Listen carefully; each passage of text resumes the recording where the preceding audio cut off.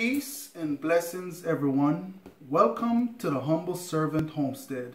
Today, I am here getting ready to do a demonstration of propagating fig clippings. And, you know, just a couple of things to go over. You know, maybe you might be out on the road or you may be at a friend or family home. And, you know, you, you notice a beautiful fig tree, beautiful figs. Tell you what, go ahead and get you a clipping. I'm going to show you how easy it is to get your clippings from here to here.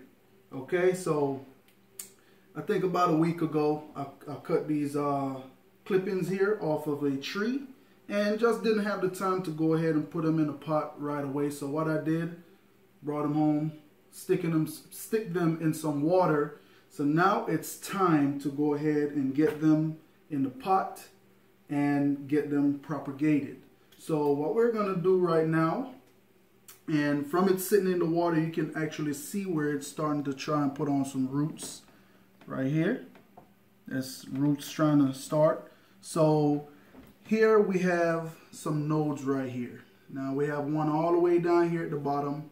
We have one here and also here and here. So we have right around about four or five nodes on this one plant here. So what I'm to do right now is I'm to go ahead and cut it right in this area here. And what's to also happen is as this, uh, you know, cutting starting to propagate, starting to grow, you may end up with uh, a fig coming from here, here, and here. So we're to go ahead and cut it right here.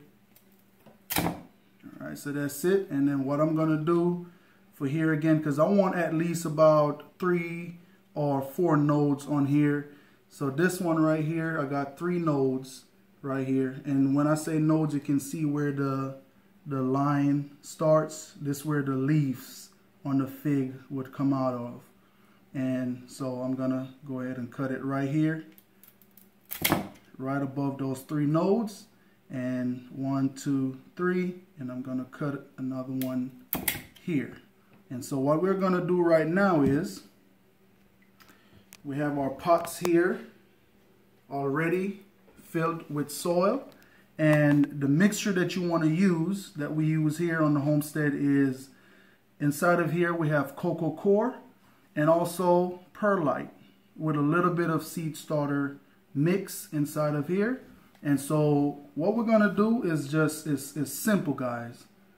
Take this here and you want to make sure that your nodes are facing up and not down because if it's facing down, this thing have to go down and bend the corner to come back up to light. So make sure it's facing the right way when you put it inside of your perlite. And all we're going to do is push it down like that. And we're just going to go ahead and kind of make it real nice and tight around with the dirt inside. And so we're going to go ahead now and do the rest. Okay. And another thing, guys, I, you know, I want to make sure I give you guys the, the proper process of how to go about doing it. What you always want to do as well is scrape that bark right there. And what that's what that's what that is going to do is stimulate growth okay? And so got a scrape right there like that and you stick it in.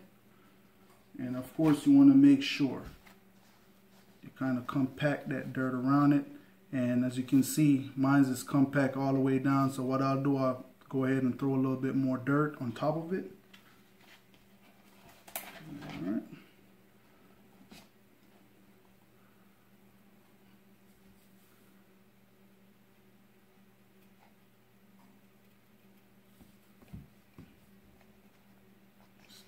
it in.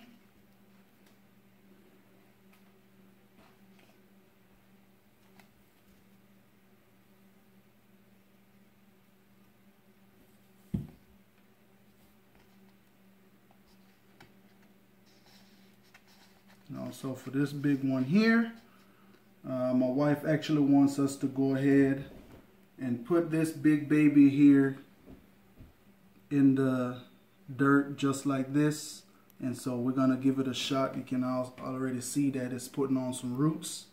And so we're gonna go ahead and stick this baby in. We got a big old pot here for this one. And we're gonna go ahead and stick them in and fill them on up with dirt. And I want to show you all another thing here.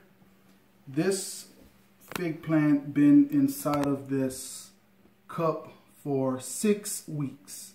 And I just want to show y'all the root the root growth on this fig tree here.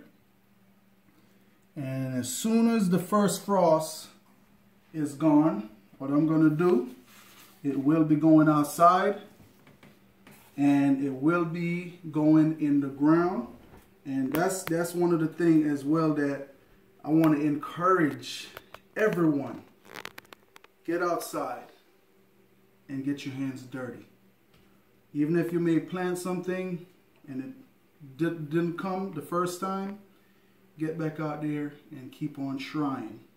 Because I'm telling you, you want some kind of food outside, inside, outside in your yard. Something that when that time come, you can just go on out and pick a fruit and eat and enjoy it. Because the time will come when there will be no more store. So get you some trees plant outside. Just want to thank y'all for stopping by the Humble Servant Homestead. And as always, peace and blessings to each and every one.